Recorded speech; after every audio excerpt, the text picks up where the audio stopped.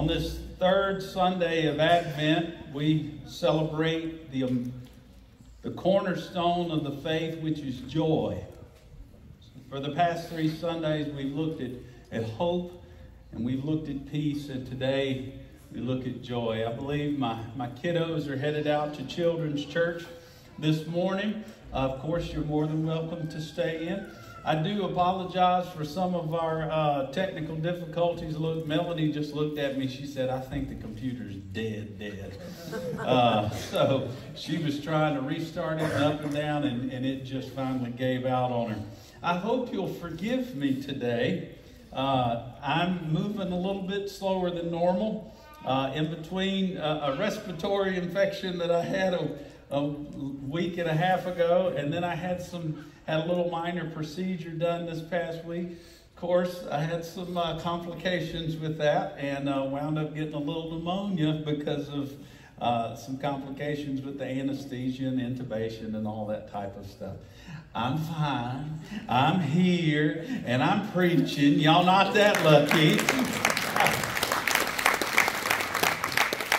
I will tell you, I'm tired though. Y'all, but guess what? I, I still have joy. Amen. And that's precisely what today's sermon is about. It's about joy. And look, I, like I said, I'm so joyful this morning that I'm going to give y'all a very short sermon. It's the season of giving, so I'm going to give you a break. That, and I don't think I can stand up here for 45 minutes. So you're going to get about 25. Today, look, as we light this, this third candle of this Advent season, we continue to build this excitement for the Christmas season. But we build excitement to the very real birth of the source of hope, peace, joy, and love for all of us that claim to be believers. This birth of Jesus, the Messiah, our Savior, the Son of God. And y'all, this morning, I, am going to confess to you something.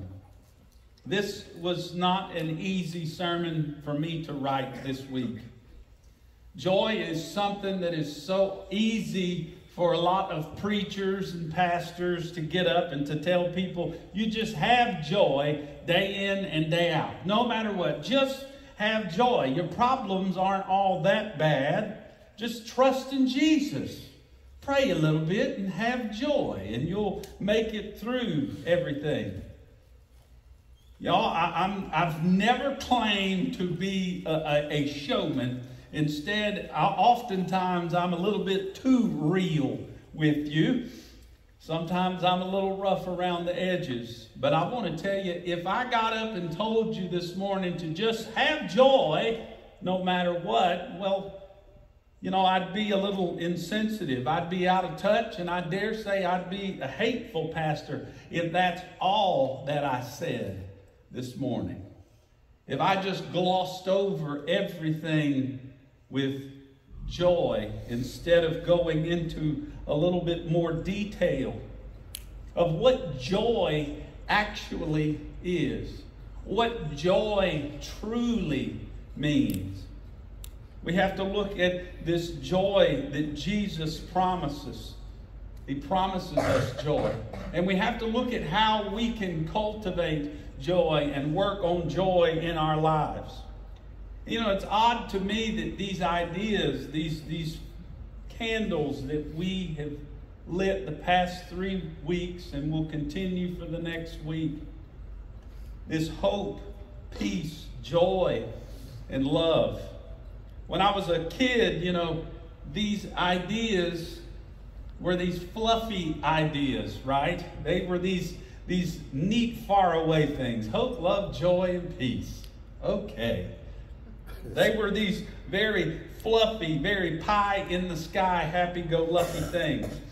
But I have found as I've gotten older, as life gives you twists and turns, hope, peace, joy, and love, instead of becoming fluffy, nice words, they become the bedrock by which we have to build our lives on. They become foundational things that we have to cling to.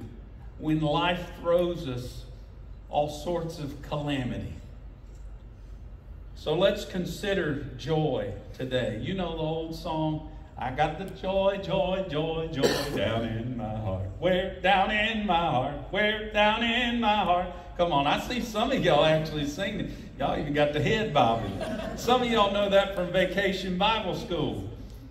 Let's dig into joy. Here's your first thought for today. Now, look, you won't be able to see it up there, so instead, you're going to have to look at me this morning. I do apologize. There's better things to look at.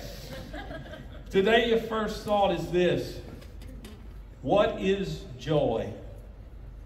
Joy is the very root of happiness.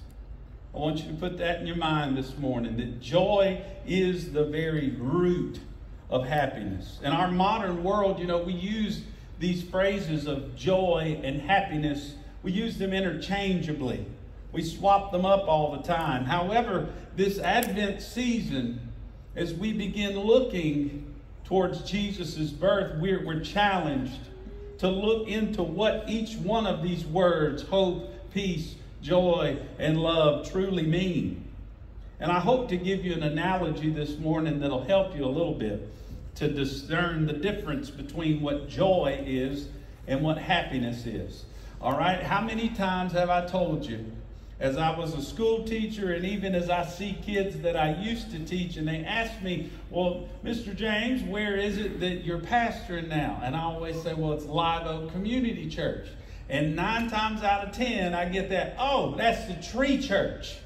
Okay, so there's nothing more fitting than to use the analogy of a tree to help us understand the difference between what joy is and what happiness is. You see, just like a tree, the leaves of a tree represent our happiness in life. Now, sometimes, just like a tree that's in the breeze, that's in a strong wind, guess what? Those leaves can get knocked off those leaves represent our external circumstances, the things that are happening to us in our lives during the, the spring seasons of our life, where we have blessings, we have goodness. Even the summer seasons of life, where we're experiencing new things, when we're going on new adventures, meeting new people, we can hold on to those leaves of happiness, right? A lot of us during those spring seasons and those summer seasons of life, our trees just fill to the brim. We look healthy. We're full of happiness. This emotion of happiness, it's tied to all the, the nice things of life.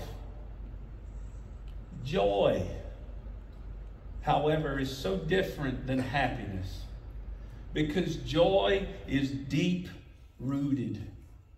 It's the foundation of our tree. It's what sustains us through every season, not just the spring seasons of life or the summer seasons of life, but the fall seasons of life when happiness tends to dry up in the winter seasons of life, when we often feel like we're left out in the cold, when every leaf of happiness that's on our tree is falling off. And oftentimes, folks, in these winter seasons, our arms are bare. They don't have leaves on them. Instead, just like that old tree, they're lifted up to heaven, waiting for spring. That's the difference between happiness and joy.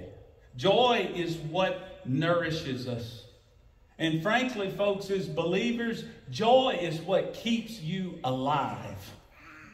It's what keeps you pushing forward to be able to look towards the spring that is to come. It's this bound up potential of what's happened in the past and what might be happening in the present but it's the potential of what could happen in the future.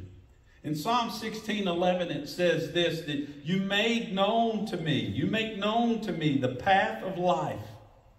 And you fill me with joy in your presence, with eternal pleasures at your right hand. And so go back and think about this tree, these leaves of happiness that we have. Look, they are often expressed through the health of our roots. Some people, you know, they have happiness all over their tree. They got leaves everywhere. But as soon as life comes through and the wind blows, they lose all that happiness. They lose all sense of joy because no longer are all the nice things in life happening. Instead, a storm has come about.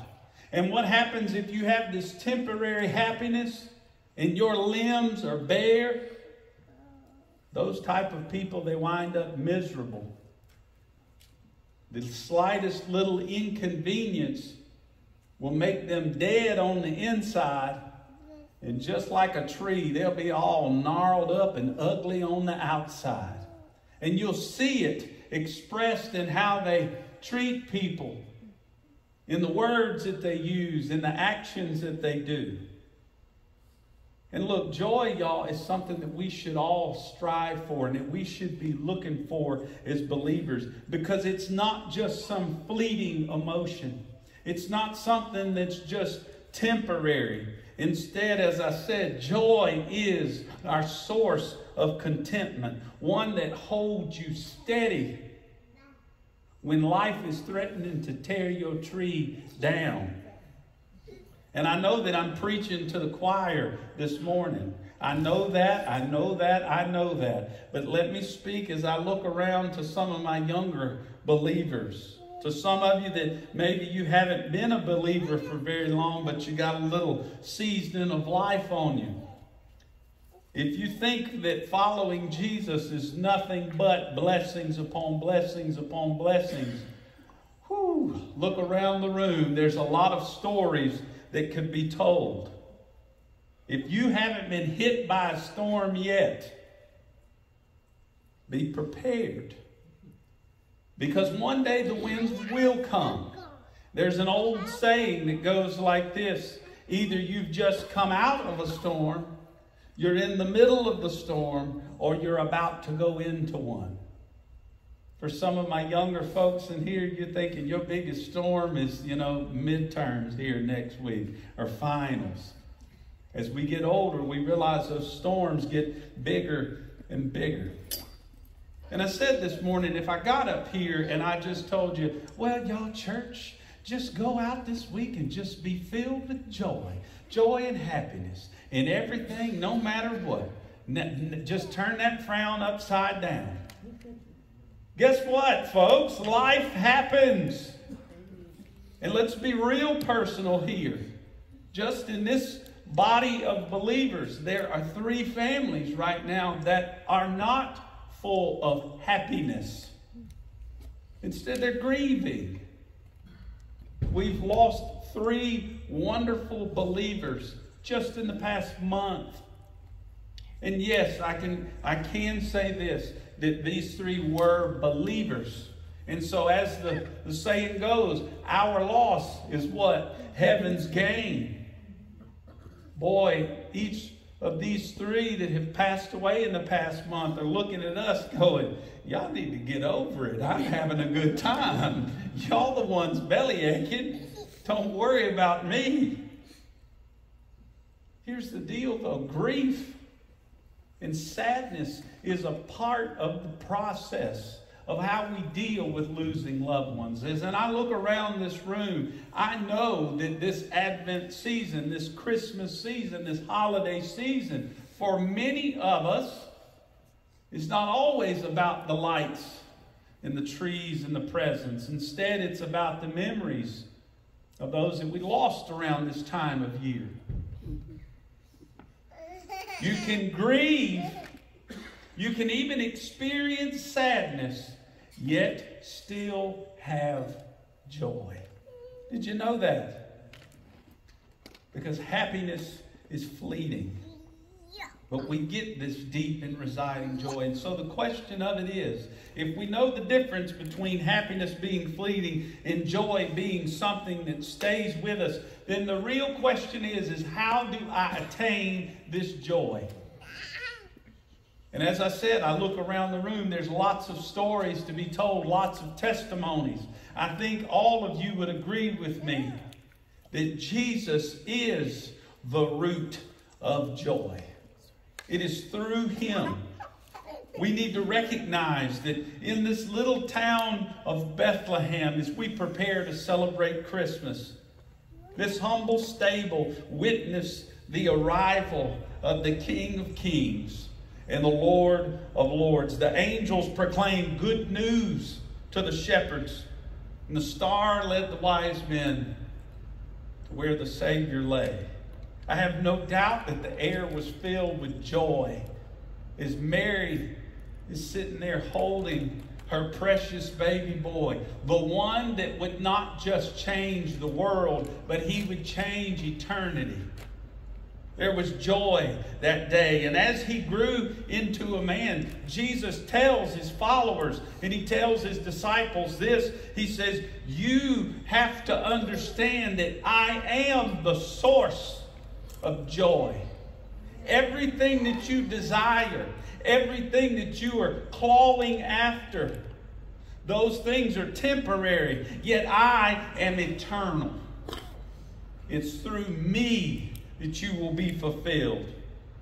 And he says, if you go looking for the other stuff, if you go looking for the temporary things, then you will always fall short. In fact, Jesus says this in the Gospel of John, chapter 15, in verse 5. He says this I am the vine, and you are the branches. If you remain in me, and I in you, you will bear much fruit. But apart from me, you can do nothing. You know, Jesus uses this metaphor of vines and branches. He's showing us how connected we have to be to Him as believers with our Lord. The root of a tree, it draws its nourishment from the soil. It, it's able to provide sustenance and stability to the entire tree. And look, similarly, when you and I are rooted in Jesus, even when our, our spiritual bellies seem empty, and even when life is not giving us the best hand, we're able to pull this spiritual nourishment, this spiritual sustenance from the King of Kings. He is the source of joy. That y'all, as believers, it should permeate everything about our existence, no matter what comes about, and all the different circumstances of life. He provides this foundation that we can anchor ourselves in, something that is eternal, not temporary. This should be the source of our strength, our resilience, and our gratitude. Y'all, Jesus is the only thing, and I've told you this before. I've got tons and tons of friends of different beliefs, some who have no belief at all. And I don't say this just because I'm a pastor, a preacher. I say this because I'm a believer. I don't know how people make it through this life without Jesus. Because when we have highs and lows, and my God, church, do we have highs and lows in this life? When we do go through that, Jesus gives us this escape route. He gives us the fire escape to all the different things that are thrown at us. And look, I want to prove this to you this morning. I would advise you to do this. If, if you're not a big Bible reader, well, first off, you need to be. But if you're not a big Bible reader, let me share with you some verses. And these are from Jesus' closest friends, from his disciples, from his followers. And y'all, if, if you're familiar with the Bible, with the disciples, each and every one of them had their joy tested. Matter of fact, almost every single one of them was willing to give their life in not a calm and easy way, but in painful, excruciating ways in their service to the Son of God. And over and over in the New Testament, you know, encouragement is given by these disciples to other believers. They're telling the other believers to keep on keeping on. That we can experience this powerful, unending joy in our lives as long as we put our faith in Him. Now, listen to this. In 1 Peter chapter 3, verse 14, it says this But even if you should suffer for what is right, you are blessed. Do not fear their threats and do not be frightened. In James 1 and 2, consider it pure joy, my brothers and sisters, when you face trials of many kinds, because you know that the testing of your faith produces perseverance. And let perseverance finish its work so that you may be mature and complete, not lacking anything. Again, in James 1, verse 12, he said, Blessed is the one who perseveres under trial, because having stood the test, that person will receive the crown of life that the Lord has promised to those who love him. And here in Romans, the Apostle Paul says this in Romans 5 1 Therefore, since we have been justified through faith, we have peace with God through the Lord Jesus Christ, through whom we have gained access by faith into this grace in which we now stand. And we boast where? In the hope of the glory of God. He continues there in Romans 5, verse 3. If you haven't written anything down or you don't remember anything today, remember this Romans chapter 5, starting in verse 3. Not only so, but we also glory in our sufferings because we know that suffering produces perseverance, perseverance, character, and character, hope. And hope does not put us to shame because God's love has been poured out into our hearts through the Holy Spirit who has been given to us. Y'all, if you've been on the fence about whether or not God will get you through whatever hardship that you may be suffering, you don't have to believe me. There's a multitude of people in this room who would gladly give their testimony. Matter of fact, I want you to do this real quick. Church, I want you to imagine this morning that there's someone in here that might be struggling with their faith. And they need someone to talk to about how they can get through, how God has gotten them through. If you could be a person to share your testimony with someone who does not believe this morning, raise your hand. If you don't know the Lord this morning, or if you're having problems with your faith, you see those hands that popped up. Throw them up again. If you're willing to share your testimony with somebody that might not know, if you're willing to do that this morning, you see those hands around the room. Look, and I know every single one of them. That's good folks to talk to. You may want to watch out for Papa Mike, though. He'll buy you pizza afterwards. There are many folks in this room who have testimonies of how it was Jesus and Jesus alone that got them through the things of life that didn't seem joyful, the things in life that didn't seem happy. Yet they were able to keep this undercurrent of joy. I say to you again, joy cannot be built on fleeting things. Joy cannot be built on temporary circumstances. Instead, joy has to be built in the unchanged one, the unchanging one. Because it is Jesus who is the source, who is the root of all joy. And look, that brings us to the third question here. How do we cultivate this? How do we live lives of joy? Y'all, you have to tend to the roots of your tree. The Christmas season, y'all, it's, it's not just it's not just this reminder of Jesus' birth, but instead it's a reminder of Jesus' life. And it's a reminder of the new life that Jesus gives to you and I. This spiritual fulfillment. And this joy that we experience as believers, y'all, it goes beyond a little manger scene. Instead, that joy continues through. We have to realize that everyday experience, every day that we live, is not just an opportunity to live for Jesus. I hear that often. Are you living your life for Jesus? Are you living your life for Jesus? You got to add that A on the end to it. My question today for you is not just are you living your life for Jesus, are you living your life in and with Jesus? That's where the joy begins.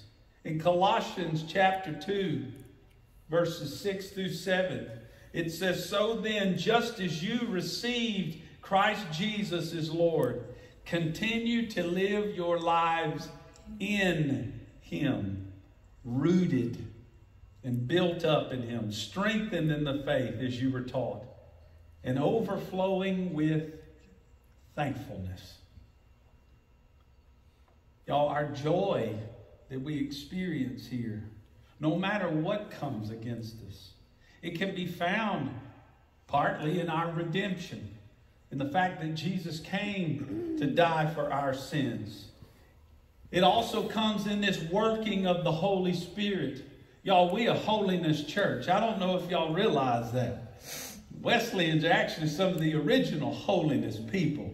We believe in the move of the Holy Spirit. We believe of the work of the Holy Spirit in us. And guess what that Holy Spirit does? It gives us joy.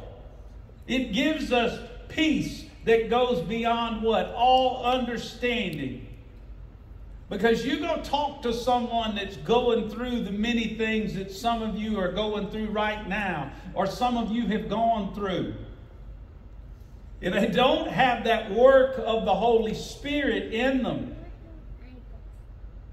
oftentimes joy is absent. Y'all, we have to take care of the roots of our tree. Because those roots are this joy in Jesus. We have to get hands on with it. Your relationship with Christ, guess what? You got to get hands on with it. Talking about this tree stuff and plant stuff, I've never met a gardener, a good one, that was afraid to get their hands dirty. Instead, we got to go to work tending these roots of joy in our life. We've got to strengthen those roots. In order to grow in faith, guess what? You got to surround yourself with the right conditions. You can't plant yourself in sand. Instead, you got to plant yourself in nutritious soil. You got to be around people that support you, that pray for you, that love you. You've also got to remove the obstacles in life. You can't plant a tree in just rocks. For us, that means that we got to remove the stones out of our life. We got to remove some of the temptations. We got to remove some of the negativity. Gosh, y'all, that even means that sometimes you might have to remove yourself from somebody else's presence.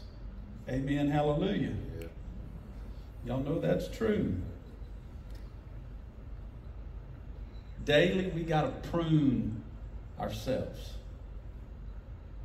We've got to tend to these roots. And we got to work on this stuff to help us grow in faith. Well, how do you do that? I say this all the time engage in prayer. I didn't just say pray, engage in prayer.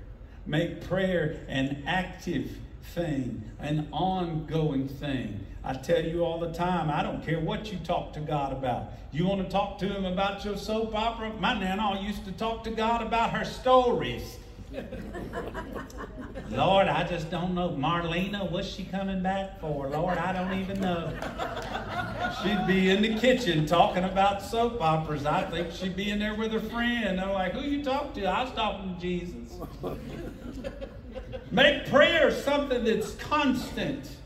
You will not regret it. Like, I wish I could give like some Tony Robbins speech and just tell you, you don't understand how prayer will change your life. And when you take it out of prayer, it's just me saying some words that I'm sending to God. And instead, you turn it into prayer, is me and God Almighty talking about all of it. It's me and Him talking about the good. It's me and Him celebrating every wonderful blessing that He has bestowed. It's also me and him talking about when I'm struggling. It's me and him talking about how my heart might be heavy. My heart might be grieving. If you don't pray, I pity you. Believer, it is one of the most powerful tools in your spiritual toolbox.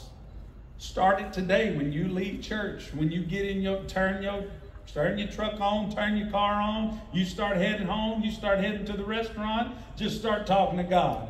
Lord, I don't know what I'm to get at Texas Roadhouse. What do you suggest? You'll be amazed, though. I know this sounds funny, but you will be amazed at how communicating with your Lord and God will open your mind and He will open your eyes to things that He's showing you, to things that He's putting in your life. So, guess what? You want to work on this? You want to develop your joy? Start talking to the one who made joy. He'll talk to you about it. Number two, begin to read and meditate on God's Word. Y'all, I know this. Y'all looking at me like, all right, Pastor Jordan, here you go again. Pray and read the Bible. Pray and read the Bible. You sound like any other preacher. You know, maybe the preacher's got some, some good ideas. When you start looking in this word, even if it's just one verse a day, God has a way of speaking to you through His Word. I hear this often. People talk about wanting to hear God speak wanting to hear God speak. It's amazing. There's a book full of God's voice. You hmm. want to know what He has to say to you? It's written down. You want to hear Him speak to you? Read it out loud. It's there for the taking. All these little glints of wisdom, of peace, of hope, and yes, of joy can be found in the pages of His Word. How often does it sit on the shelf or sit on the coffee table? Meanwhile, man, that cell phone comes out. We can look at Facebook for three hours, but you can't read the Bible for five minutes because it's boring. God's trying to speak to you. Seek His presence. Y'all, that's something that we talk about as well. I said this we are what you call a holiness church. And you know what that means is that we are asking God, make your presence known to me. Work on me. Show me how I'm messing up. Show me how I can get closer. I always tell people as a, as a Wesleyan church, uh, people ask me, well, how's that any different than Baptists and Catholics and, and Methodists and all this other stuff? I tell people, well, we're probably the strictest hippies that you've ever met. we love just about anybody we come in contact with. But guess what? We are strict on who? Ourselves. You a sinner walking in the door? Come on in. Because the longer and longer you spend in God's presence, He'll point things out to you. And in my experience, I don't know about you, but the Lord don't spend much time pointing out to me your problems. Instead, he points out a lot of mine. And he says, Here, do this. Change your mind about this. Change your way of thinking about this. Look at what I'm doing, even though you're going through the trial. So, pray. Meditate. Get into your word. Seek his presence. Ask him, Lord, make yourself known to me in everything. And look, at the end of the day, folks, I'd be remiss to say, find yourself around other believers. Find yourself around people who will love you, who will care about you, people who are unified with you in this wonderful joy and hope and love and peace of Jesus. Because sometimes, yes, we all would love a burning bush moment where God comes down and tells us exactly why He's doing things, exactly why we might go through something, exactly what it is we need to do in life. Well, God doesn't play that game. Instead, what He's done is He's sent other believers, other people that commune with Him, other people that are filled with this indwelling of the Holy Spirit. And those people the people in this very room, your family members, your friends that go to other churches that love the Lord and know Him. Those are the people to surround yourself with. Because when the happiness has dried up, and when you do question the joy, those are the people who will remind you of the root of your joy. Y'all, growing in faith is, is not easy. I mention this all the time. Christianity is the easiest religion to become a part of. It is probably the most difficult to be a good one at. We can all be Christian in name, but man, are we good followers. Following Jesus is ongoing maintenance. We got to tend to your roots. Here's the closing this morning. Y'all told you it, it was difficult thinking of this sermon simply because of a lot of the things that I know and a lot of the things that many of you know. As we light this, this candle of joy, I want you to remember this that this, this season this Advent is not just right now. Joy is something that will continue with you no matter the circumstance. It's a gift. It's a gift from God that, that is made manifest in the birth of Jesus. As Jesus was born in Bethlehem, God becomes flesh and a new world comes into fruition. Because now through him, all these fruits of the Spirit can flourish. And it is through him that you and I can have transformed lives, transformed minds. He extends us this grace. So let me tell you, don't let momentary happiness define you. Because you know, happiness, it comes and it goes.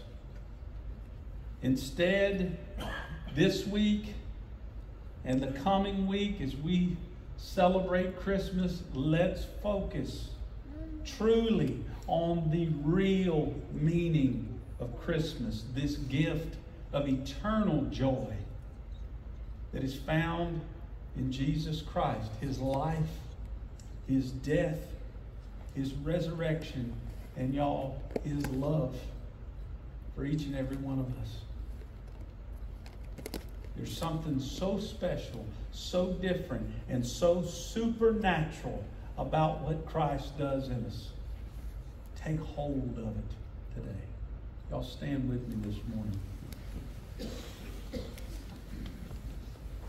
Lord, we come to you. God, in this, this season of Advent, God, as we think about each one of these foundational things, these, these emotions that, that mean more than just emotions, God, these are, these are cornerstones to our faith.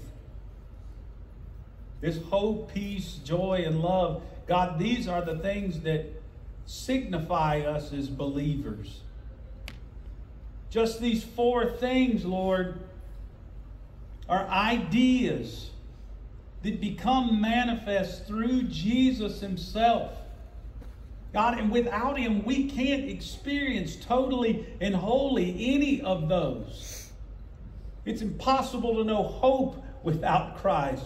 It's impossible to know true peace without Christ. It's impossible to know the deepest joy without Christ. And there is no way to know what real, unbridled love looks like apart from Christ. God, my prayer this morning is that as we leave here, God, and we continue this season and we, we see people, and God, these, these barriers of discussing our faith are, are very thin this time of year because everyone knows what Christmas is about. God, I would ask that you give each one of us opportunities. Opportunities to tell people the true joy of Christmas. The true joy that we find in the birth of the Savior of mankind. Not just lights, and trees, and gifts. God, and for those right now whose joy might be tested this time of year, whose lights seem a little dim, and God, whose leaves of happiness on their tree, Lord, the tree seems bare. God, I ask that you send the Holy Spirit as a comfort to work in them and around them, Lord, to uplift them. And God, we as fellow believers, allow us to be those those shoulders to lean on. God, those arms that are up underneath their arms, lifting them up.